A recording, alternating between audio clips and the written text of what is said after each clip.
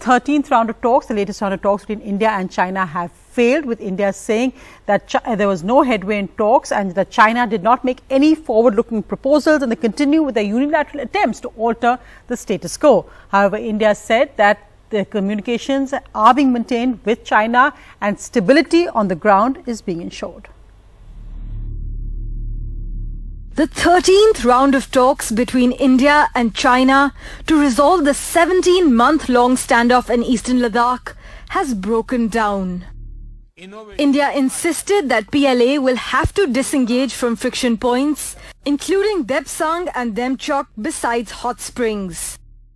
The Indian Army has said the Chinese side could not provide any forward-looking proposals. The Indian side pointed out that the situation along the LAC had been caused by unilateral attempts by the Chinese side to alter the status quo and in violation of the bilateral agreements. It added that the two sides have agreed to maintain communications and also to maintain stability on the ground. China, which first reported the breakdown, said via an army statement that India insists on unreasonable and unrealistic demands, adding difficulties to the negotiations.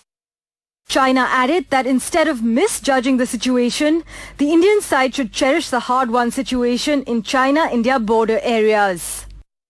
While the stalemate continues in eastern Ladakh and as Beijing refuses to disengage and de-escalate in Ladakh, the area of great Indian concern is the DBO sector, India's northern tip that nestles in the shadow of the strategic Karakoram Pass, which China controls for road access to Pakistan.